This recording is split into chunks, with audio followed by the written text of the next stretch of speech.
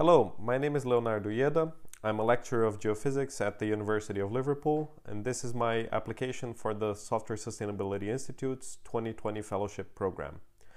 First, a bit about me.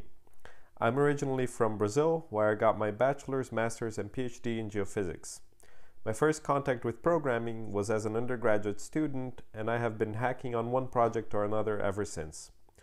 My bachelor's dissertation project was the development of an open source software tool called Tesseroids for modeling gravity data in a global context. This software went on to be used to process and analyze data from the European Space Agency's GOCE satellite mission. During my master's and PhD, I started the Fatiando Terra project, which is Portuguese for slicing the earth. It is a collection of Python tools for geophysical modeling.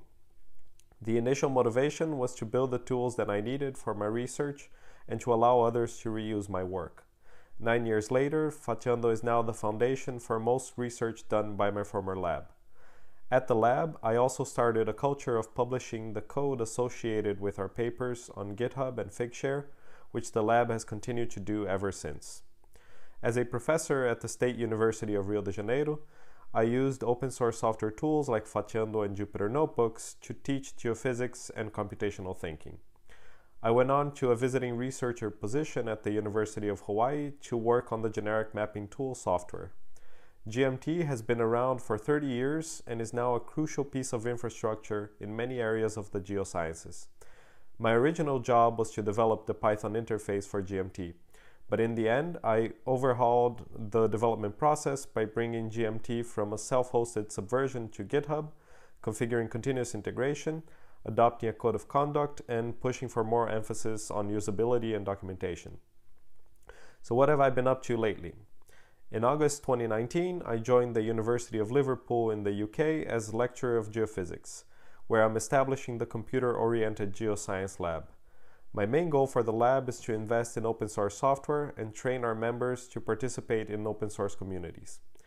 I'm also a topic editor for the Journal of Open Source Software, and I've recently registered as a software carpentry instructor. In the past couple of years, I have gotten together with a group of like-minded geoscientists to organize an open source software initiative at the American Geophysical Union.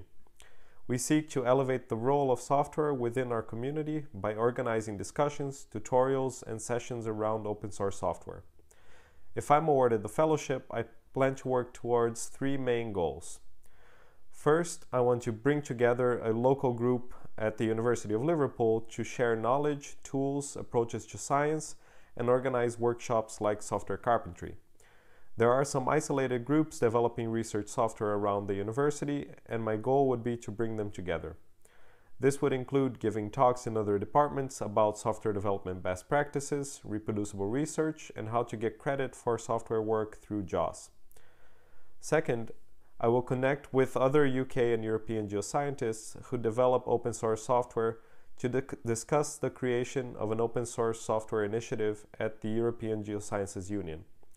Their annual meeting gathers tens of thousands of geoscientists from the UK, Europe, and the rest of the world. The same issues we have been addressing within the American Geophysical Union, like recognition for software work and publishing software tools, also need to be discussed within the EGU. An exciting possibility would be to establish a partnership between JOSS and the EGU journals to promote the publication of high quality software. Third, I will work to fill in the knowledge gap between the basics of coding, which are well covered by software carpentry, and the day-to-day -day practices of most modern open source software project. Things like setting up continuous integration, reviewing pull requests, structuring your documentation, and packaging are very challenging to learn, but not usually taught. Often scientists are not even aware that these things exist. At the 2018 American Geophysical Union meeting, we ran a workshop covering these topics. It was sold out and the feedback we received from participants indicates that there is a lot of interest in learning these skills. With the fellowship, I will work on generating a software carpentry style lesson out of our workshop material. To test and iterate on the content, I'll run one or two workshops at the University of Liverpool or another UK institution. To reiterate, my plan is to establish a local community in Liverpool discuss the creation of an open source initiative at EGU, and create educational materials to fill the gap between novice and expert coders. More than any amount of money, the most important thing I have to gain from the fellowship is the connection with the past and current fellows and the Institute as a whole. What I've come to realize is that coding is just the tip of the iceberg. The most challenging part is nurturing and maintaining a healthy community of practice. The SSI Fellows are an amazing cohort of experienced communicators, open science advocates, and passionate members of the UK software community.